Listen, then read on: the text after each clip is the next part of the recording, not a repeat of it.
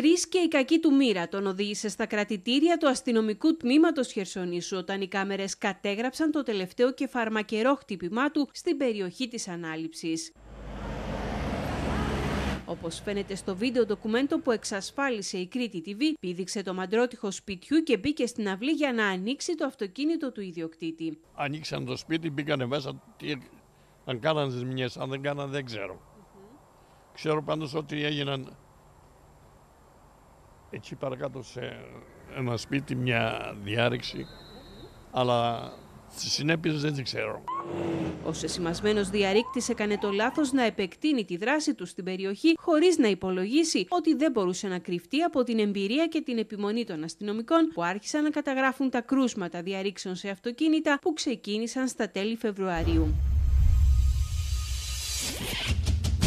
Συγκέντρωναν με υπομονή τα στοιχεία που άφηνε πίσω του, καθώς ο τρόπος με τον οποίο άνοιγε τα αυτοκίνητα ήταν χαρακτηριστικός και πανομοιότυπος. Αυτό που έλειπε για να συμπληρωθεί το παζλ ήταν να καταλάβουν πώς απομακρυνόταν από την περιοχή, καθώς παρά τα μπλόκα δεν είχαν πέσει πάνω του. Μετά το χτύπημα στην ανάληψη, η ανάλυση των κινήσεών του οδήγησαν τους αστυνομικούς στη στάση του υπεραστικού λεωφορείου. Συνέχεια κλέφτουν, σπάνε σπίτια, δεν είναι ούτε πρώτη, αλλά αυτός ήταν μάλλον για αυτή τη δουλειά έκανε φαίνεται. Πρώτη φορά το ακούω. Δεν το είχα ακούσει.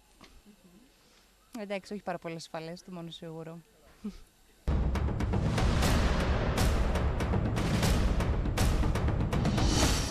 Όπως ανακάλυψαν οι αστυνομικοί του τμήματος Χερσονήσου, πρόκειται για 50χρονο εσημασμένο από τον Άγιο Νικόλαο, ο οποίος είχε συλληφθεί για κλοπή λίγες ημέρες πριν αρχίσει να επισκέπτεται τη Χερσόνησο, καθώς αποφάσισε ότι δεν μπορούσε να συνεχίσει τα χτυπήματα στο Λασίθι. Η αστυνόμευση πρέπει να, να, να, να υπάρχει παντού. Παντού, παντού, παντού.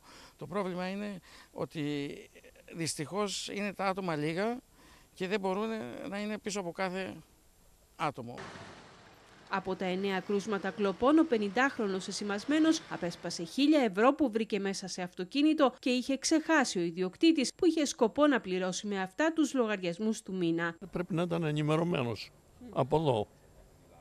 Από κάτι από εδώ. Η γνώμη μου, δεν ξέρω, μπορεί να κάνω λάθος. Καλοκαίρι έχει πάρα πολύ κίνηση και το σχολείο είναι εδώ. Και αυτό είναι το κάποιες ώρες είναι, είναι δύσκολες. Η συνολική λία σε χρήματα και αντικείμενα ανέρχεται στα 1.800 ευρώ, ενώ ο 50χρονος συνελήφθη σε συνεργασία με την ασφάλεια Αγίου Νικολάου μετά από έφοδο στο σπίτι του. Στο Δήμο Χερσονήσου χρειαζόμαστε περισσότερο αστυνόμευση έτσι αλλιώς. Οπότε εκεί πρέπει να εστιάσουμε το πρόβλημα.